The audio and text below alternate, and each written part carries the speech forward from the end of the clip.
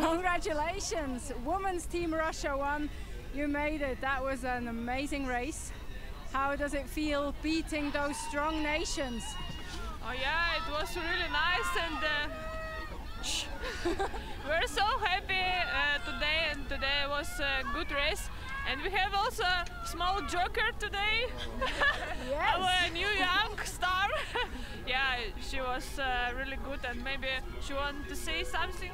Veronica, 20 Veronica? years young and such a performance. How does it feel out there? Oh yeah, that's what's incredible and uh, I have amazing team.